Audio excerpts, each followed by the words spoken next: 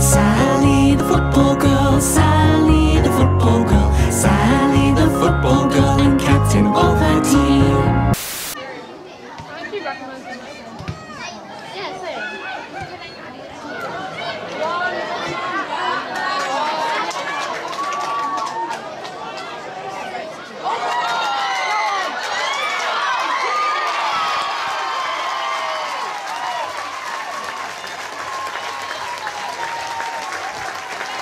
second goal for Chelsea, the seven, Sean